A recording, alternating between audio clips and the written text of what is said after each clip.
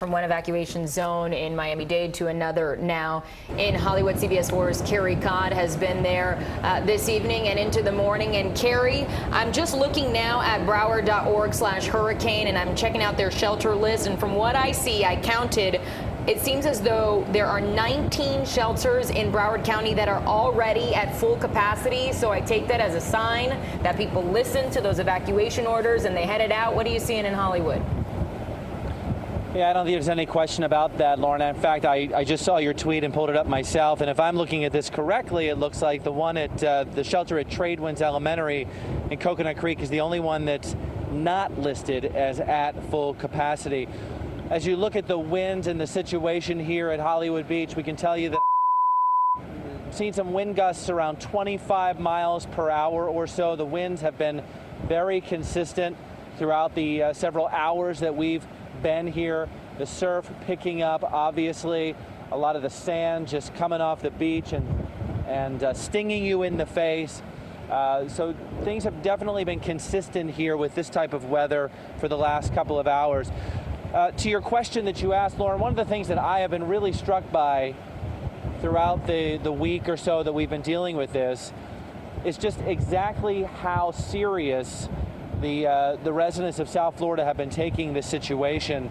You know, after living through and dealing with hurricanes uh, in South Florida for, gosh, the better part of uh, a decade and a half now, I can tell you that, you know, you always have your hardcore people who are going to react and respond. But this time, it certainly feels like whether it was the magnitude of the storm or, as David mentioned, how early uh, Craig and, and Lisette and our other meteorologists uh, were on top of this situation, uh, preaching what needed to be done. But it certainly feels like people have heeded the call, have taken this very, very seriously, and are doing what they have to do to make sure that they stay as safe as they possibly can. And I think it's reflected by, you know, I remember being on this beach for one of the hurricanes. They all kind of run together after a while. But usually you would see people out still having a good time. Uh, you'd see people in some of the hotels hanging out, watching the scene.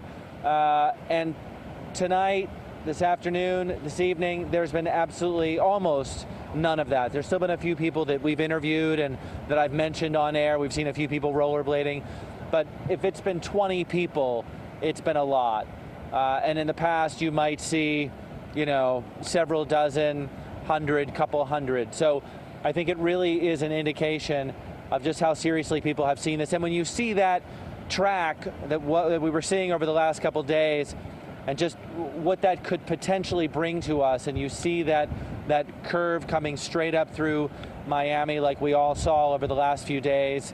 Um, I think it does bring a lot of things into focus. And of course, now we're seeing a track that has shifted a little bit west. And, you know, from what I'm reading and, and from what Lisette and Craig are telling us, obviously, uh, this could all, you know, continue to change and meander depending on certain conditions. Over the last little while, uh, we've seen, again, more Hollywood police officers cruising up and down the strip. I had a chance to speak to one uh, or two of the officers who were in a vehicle. They told us that they're encountering very few people, just a few sightseers. Uh, most people uh, are indoors, very well behaved, taking things very seriously, as we've mentioned.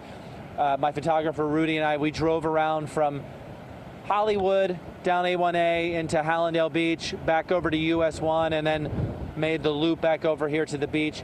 Very few cars, almost no people, just a couple of people walking uh, around. So it has been um, very light on the people, which obviously is what our emergency and management officials want to see as the conditions continue to take a turn over the next 12 to 18 hours or so. That's really what we're seeing here in Hollywood at this point. Really appreciating guys. Your, back to you. We're, we're really appreciating your, your, live picture here. It, it, lightened up a little bit so we can better uh, see what's going on there. As you're standing there, and as we hear the roaring of the ocean, and we saw you when we first came out to your hair kind of whipping in the wind. It looks good, by the way. Uh, but which one of these elements?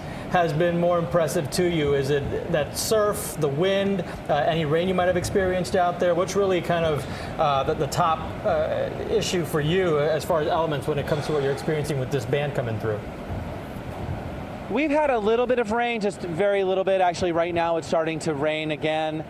Um, you know, after covering these storms for so many years, I would have to say the fact that we're seeing uh, this type of wind, even though it's not the type of wind that will knock you over in any capacity, uh, but just the fact that we're seeing this sustained type of wind at 23, 25 miles per hour, uh, that's been a little um, surprising to me. I didn't know that we would necessarily be having this type of sustained wind at this point.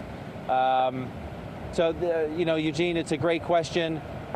And obviously, it's just something that, you know, when we're out here reporting, we try to stay absolutely as safe as we can to try to bring some live pictures to people while we can because, you know, there will be a point that we just simply cannot be out here in this type of environment where we have to get to some place where uh, you know it's just safer for, for us to be able to continue to report and uh, gather information and bring uh, needed information to people. Um, because I you know obviously everybody wants to know what it's like everybody wants to know what's happening everybody wants to know how is this affecting my city my community my neighborhood my house um, you know, that's what we're all focused on my family, my friends, my church, my business, whatever it might be. And so, you know, we really want to try to bring that to people in as clear focus as we possibly can. We can definitely see the wind in, in, your hair and the palm fronds. Earlier, when we were looking at uh, the live picture from David Sutta's camera as he drives through the Miami area, we saw a down fence. Have you seen anything like that there? Anything that's now out of place or has been blown over because of the wind? Wow, look at that American flag wow. in the wind. That's that's impressive. Eugene, I have to be honest, it's it's been so windy the last like 10, 15 seconds. I, I'm sorry, I lost you there. Uh, but I can tell you that if you look at this flag, I think it's a pretty good indication of just how stiff the wind is blowing and just how sustained uh, those winds are. Um, you know, it's always difficult to say because you know what we see out here and what we're able to transmit back over the, the pictures through the camera, uh, it doesn't always translate. Uh, and certainly, um, you know, we've been in storms where you literally could not stand up and you know, when you anticipate a storm like we're going to get with Irma, you definitely kind of have to consider, um, you know, how is this going to affect us? What do we have to look out for? What do we have to uh, do to, you know, protect ourselves and to stay safe? But, you know, at this point, it, it is just a very, very blustery, very gusty, sustained type of wind. Uh, that we're seeing, and, and obviously we anticipate continue seeing that for the next several hours and the next several days, really. And, and Carey, I hope you don't mind if I, I get a little personal with you. I, I, follow you on Facebook. I know you have a wife and you got your beautiful son. So, what sort of goes through your mind as you have to head to work, leave them all safe and prepared? Can you sort of speak to that and, and how you got them prepared for you to then come and do your job to serve the people of South Florida? Yeah, I mean, Lauren, you're a parent too. It's hard. Um, you know, I think we all feel um, overwhelmed at, at some point, you know, to some degree. Um, you know, whether you're a parent or not, uh, you know, you have loved ones and you want to make sure, obviously, that they're safe. So for us, uh, I'm, a, I'm a very type A personality. I like to, you know, if there's a problem, you attack it, you deal with it, you, you, you know, handle it the best that you possibly can, and then you can at least put your head on the pillow at night knowing that whether it worked out, you, you tried your best, you did your best. Um, so for us, we uh, weighed some options. My in-laws happen to be on the west coast of Florida. So uh, at one point, we were thinking that possibly uh, my wife and kids would go there to shelter with her family. Uh, but again, we weighed out. Was that the right move? This storm can move, and the storm is so wide that you know it was really going to encompass the entire state. Plus, the traffic on the road. Could she get gas over there? How long would it take before she could get back home and the kids could get back to school and she could get back to work? So these are some of the decisions that we had to make as a family. Um, so instead, uh, and you know, would she stay in our home? We do happen to be blessed to be able to have uh, hurricane impact windows and doors. I don't know that they've ever been tested uh, like they could be tested with this storm, so that was certainly a consideration. And did I want her to be home? Uh, alone with, with me not being there because I, I certainly can't be driving back and forth um, so I decided that it'd be best for her uh, to shelter with some of our good friends. uh, who have hurricane shutters and our children can be together and they can have something on, you know, that, that takes their mind off of uh, what's maybe happening outside and the wind and the rain and the noise, which, as you know, for children can be uh, anxiety producing. Heck, for adults, uh, it can be anxiety producing. So that's sort of the checklist that we went through for our family. And I, I thank you for asking. And, um, you know, we all have those situations. We all have to, to make those kinds of choices and decisions for sure.